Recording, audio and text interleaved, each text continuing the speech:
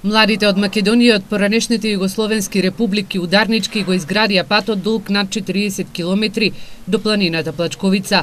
Акцијашите од Штип кои учествувале во оваа младинска акција од 1975 до 1978 година се собраа на изложбата на фотографии која за нив ја организираше Тоше Ристов.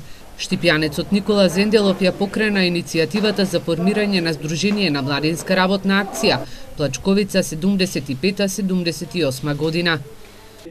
Младите од цела Југославија, почнувајќи од Република Словенија, Република Хрватска, Република Србија, Босна и Херцеговина, Црна Гора и Македонија, дојдоа и со нивниот ентузијазам, младост, и творештво допринесоа да оваа акција стане символ на младинското ангажирање во тој период.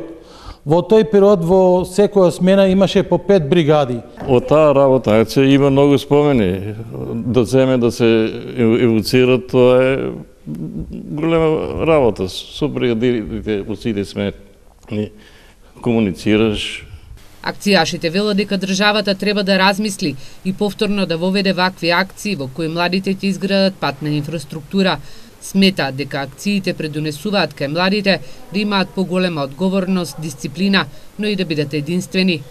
Мислам дека тоа ете сега го правиме со овие сеќавање, ги правиме да, да ги подсетиме овие млади, да и кажеме дека има и една од многуте можности со кои и они би се покажале во нината генерација, нијната генерација и би допринеле у својата, у својата средина, сега у град, у држава, со вакви активности младински.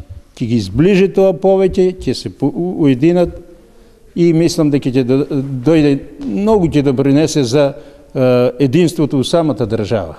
Најмладиот акцијаш бил Крстемите, кој во 1976 година имал само 11 години. Присутните од страна на организаторите на изложбата добија по една мајчка, а денеска во дворот на Домот на млади насадија десетина дрвца.